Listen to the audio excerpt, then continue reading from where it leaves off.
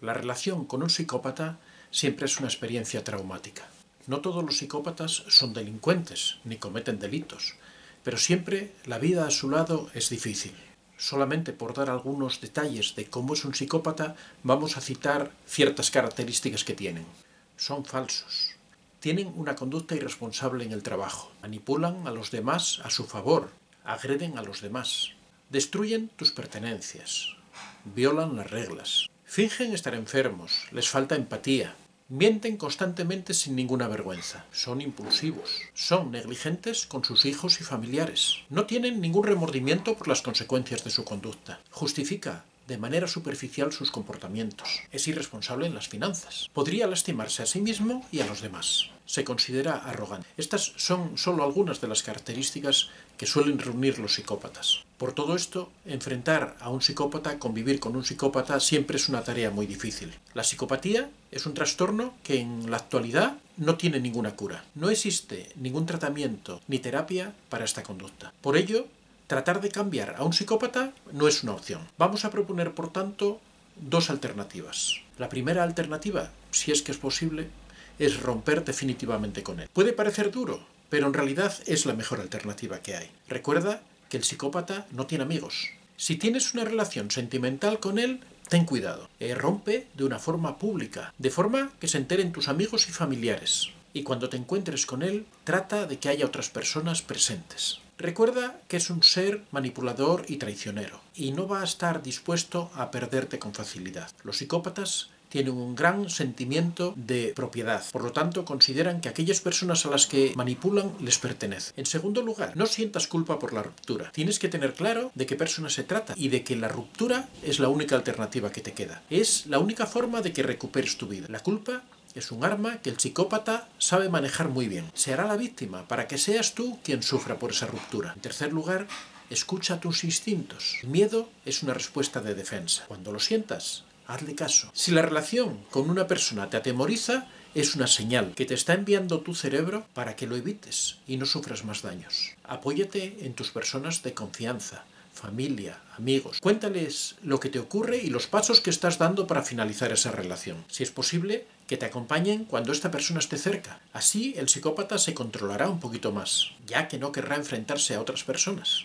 Distanciarse de una persona con la que has compartido tu vida o has tenido una fuerte relación siempre es difícil. Por tanto, no te sientas cruel. Recuerda que para recuperar tu vida no tienes otra opción. No ha sido tu culpa cómo es esa persona y no es tu culpa tener que dejarlo. La segunda opción que existe, la primera era eh, dejar al psicópata, la segunda es tener que convivir con él. No siempre puedes apartarte, bien porque sea un familiar cercano, un hijo, un esposo, unos padres, o bien porque sea una persona con la que te relacionas socialmente, ya sea un compañero de trabajo, un compañero del grupo, un vecino. En muchas ocasiones nos vemos obligados a mantener la convivencia porque no nos queda otra alternativa. En ese caso, como ya sabemos que mienten, que tergiversan los hechos, siempre para conseguir sus deseos, hemos de tomar las siguientes precauciones. No creer nunca lo que nos cuenten hasta que hayamos comprobado personalmente la veracidad de sus historias ya que son mentirosos y manipuladores, y todo lo que dicen está enfocado a conseguir sus objetivos. No sentir culpa. La culpa es un arma que manejan con mucha frecuencia y la utilizan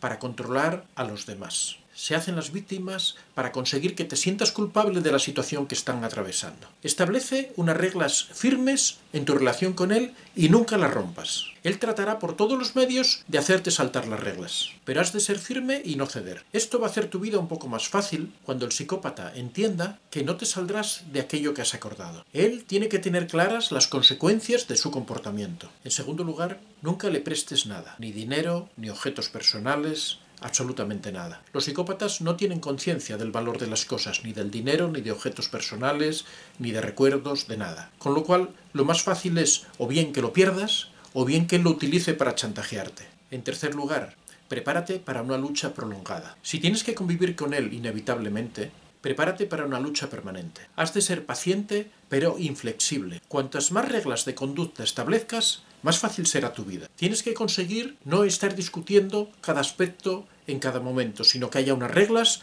que regulen toda vuestra relación. Entrar en una guerra por cada decisión que tomas va a minar tu moral. Puedes evitarlo estableciendo unas reglas claras de comportamiento y cuando alguien la rompe, cuando esta persona la rompe, tiene sus consecuencias y esas consecuencias tienen que ser inevitables. No caigas en el engaño de su encanto. Son personas que saben manejar muy bien su atractivo personal y si ven que por las malas no consiguen sus objetivos, lo intentarán con halagos y zalamerías. Al psicópata tienes que verlo siempre como un actor, que interpreta un papel según sus intereses.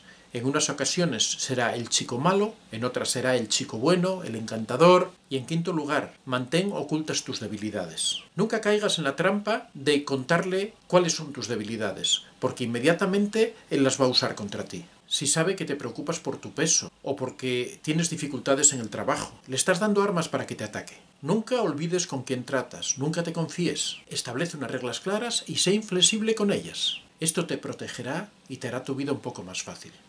Soy Antonio de Vicente. Si te ha gustado este vídeo, puedes suscribirte y darle a la campanita para recibir nuevas notificaciones. Si quieres hacerme alguna consulta, puedes dirigirte a los comentarios de este vídeo o también a través de mi correo electrónico antoniodevicente24.gmail.com. Muchas gracias.